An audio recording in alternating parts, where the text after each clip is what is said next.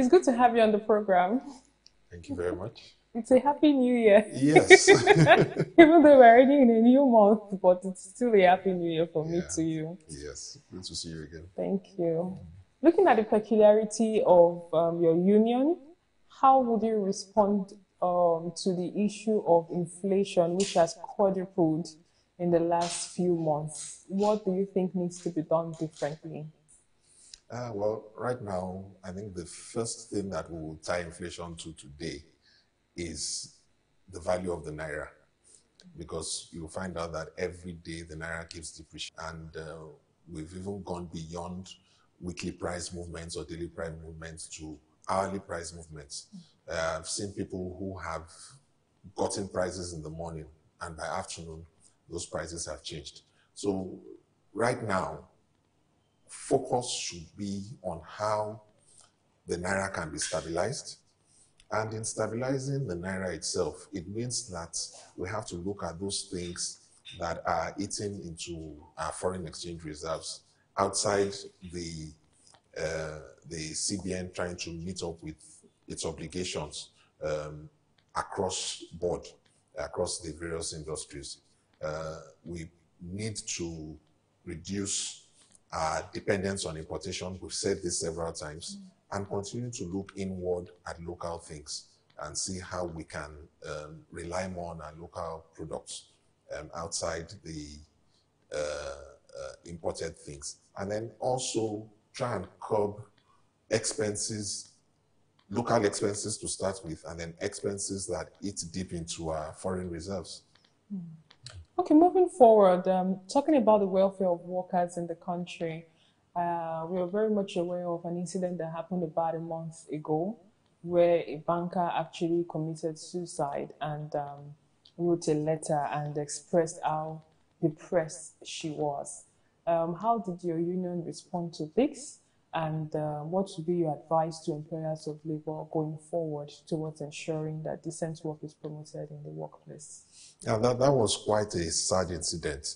Uh, it clearly showed that a lot has to be done in terms of mental health. Now, as a union, I'll even go beyond how we reacted to it. Uh, we, as ASSBIFI, have a record as the only union today that commemorates the World Day for Decent Work. And it's because of things like this where we're able to come together to share ideas, to rub minds together on the things that affect mental health that could lead to things like suicide, like the case uh, of what um, happened here. And um, indeed, it formed part of the UNI Global Conference that took place in August in Philadelphia, where we uh, made presentations on decent work. Um, within the industry, there's a lot of pressure um, in terms of delivering value at the workplace. But every organization owes its staff the responsibility to provide support because sometimes the mental health may not be totally related to the workplace environment, but to things that the person is facing personally in other areas. But when you join that together with work related activities, then it escalates. And organizations have that responsibility to ensure that they're able to support their staff through counseling, through observation, because sometimes people hide um, these things within themselves. But an organization that observes the body language of its staff will have noticed that there is a problem uh, coming up which needs to be nipped in the bud. And once they're able to do that, once they're able to respect the right of workers in terms of the decency of the environment they work in, and that when we say that, we're talking in terms of um, work hours, the right of the worker to to disconnect, the relationship between um, staff and members and their supervisors, because sometimes it could just be um, sometimes not physical harassment, but mental harassment. You know, the way we talk, the way we react, and the way we relate to um, our members. Those are the things that need to be caught and uh, quickly addressed. And if we have that kind of thing, then such incidents like the sad one that happened will, will be minimized, if not completely eliminated. During the week, the federal government of Nigeria inaugurated um, a committee to address the issue of um, setting up a figure for that would be the new national minimum wage. How would you react to this committee or to this development? And um, is ASSBIFI also part of um, this committee, owing to the fact that it's a financial institution and also has um, lots of um, role that they can play in this development? Yes. Um, well, this was something that we saw coming based on the various discussions that had started since last year. Um, when the issue of minimum wage came up, you know, there had been quite a number of industrial actions by the labor unions um, in Nigeria. Uh, so the setting up of the committee was actually a welcome development and the inauguration, like you said. However, uh, to answer one of your questions, no, ASSBIFI is not part of the committee. Uh, well, one would have expected that the financial sector uh, on the labor side would have been represented to be able to um, add value in the discussion, in the negotiation itself. But another thing that we may have observed is that uh, since this negotiation, uh, this negotiation started, a lot of it has been skewed towards the public sector more than the private sector. So basically, you will find out that it is what is negotiated for the public sector is what the private sector now picks up and works. And uh, I think we need to start correcting those things and look at it across board. Because while the government is able to set figures and limits based on their budget, organizations have to work based on their own income on their own profitability to be able to fix these things as well. And you, you, I mean, you need to understand that we all patronize the same market, we all go in the same public transport, we all live in the same kind of houses. So there is no disparity in any form. And at the end of the day, everybody is affected by it. Uh, for us, the advice we can give, even though we are not there, is that in coming to the minimum wage, the government has to ensure that um, outside a figure being put in place, the wage is sustainable until the next negotiation, not a situation where six months down the line it's it's eroded. And in being able to establish, in, in being able to do that as a government, it goes beyond money it goes, be, it goes beyond money. It includes um, other things, other, other um, amenities or facilities that are provided for the general public to ensure that they are able to be sustained with what they earn. And then going into the public sector as well, the government needs to look at how they are taxing and uh, dealing with those organizations because whatever it is that happens still comes back mm-hmm. to the worker who is getting the wage. So look at the manufacturing industry, for example. If they do not have the kind of support that they require to be able to operate, it simply means that their prices will go up, especially with the minimum, because they also have to pay their workers. And if that goes up, it erodes into the um, wage that is being given, that is being negotiated. If our currency is not stable, it has its own impact as well. Because one of the fallouts of um, the agitation, agitation for the minimum wage was the removal of subsidies, was the devaluation of the naira that had reduced drastically the value of the 30,000 naira minimum wage that we currently operate right now.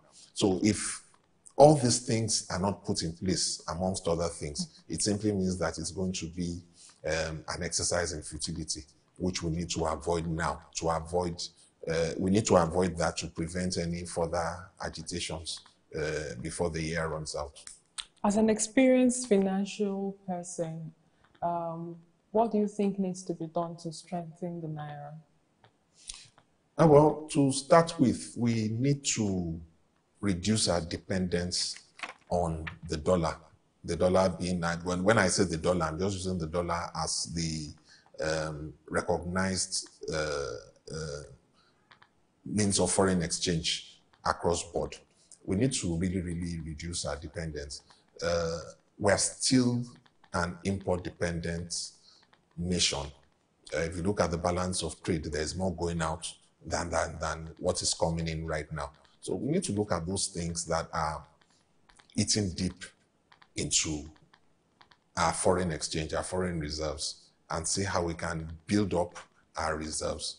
And then, of course, uh, we know we are faced with the government being able, uh, trying to clear up its obligations. I read in the news recently that they had actually cleared up a percentage. The CBN came out with a statement that a percentage of obligations had been met. But it's a very, very small percentage. I think it's, uh, it was less than 10%. So we'll still have over 90% to go. Now, while those are being cleared, we should avoid building up more of those things. And it starts from the top down to the bottom. What are those things that we travel out of the country for? What are those things that we keep importing that we can avoid? Uh, we can avoid clearly uh, tourism, uh, goods and services that can be provided locally. Those things medicals. need to be medicals. Those things need to be curbed. But while you are curbing, you must also ensure. And when I say you, I mean well Nigerians generally, not just the government. Everybody has to ensure that you get the minimum quality that is required for you to stay back. Because sometimes you will find out that uh, some of these things may be justified.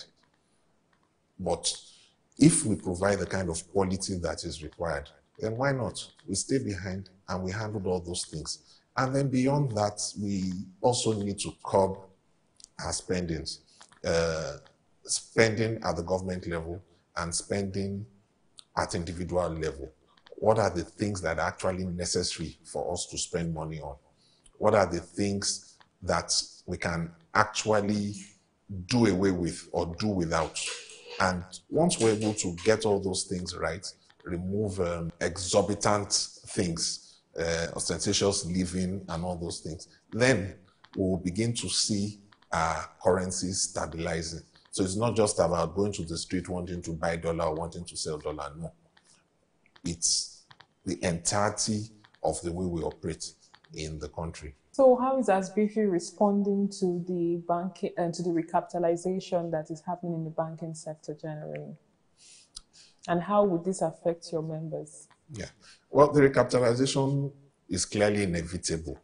Uh, when we look at it, that uh, I think the last recapitalization was uh, about 2005, uh, when the 25 billion naira minimum capital was was uh, put in place. Now, if you look at that in dollar terms, you will find out that that value is heavily eroded. Confidence needs to be put in the financial sector, just like the CBN governor noted. Well, we issued a statement and we communicated that to the CBN as well, that while we are not opposed to the recapitalization, the recapitalization should only happen at a time when the nation is stabilized financially. Because yet again, we come back to the issue of the value of the naira. It keeps devaluing every day. So if you fix a value today as the recapitalization and you have not controlled the value of the naira, it simply means that in the shortest period of time, that, to, that capitalization that took place would have probably come down to almost nothing again, just as it is right now. So we expect that that will happen first. Uh, so far, the CBN has not made any announcement yet. We're waiting, but we expect that they're also thinking the way we are thinking as well.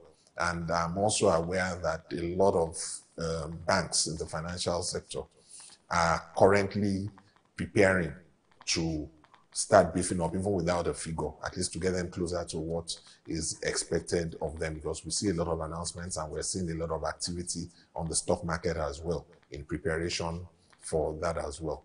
Uh, for us as a union, uh, we know that recapitalization will probably lead to mergers and acquisitions. And we've also made that note out. We've, we've, we've made that call that the unions need to be taken along, carried along in the entire process. They need to be recognized, and the rights of our members need to be protected as well.